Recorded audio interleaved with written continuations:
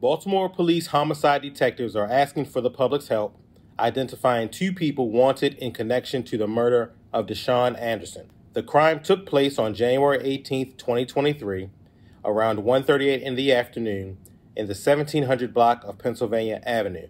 Surveillance video shows the two men in question walking away from the scene of the crime.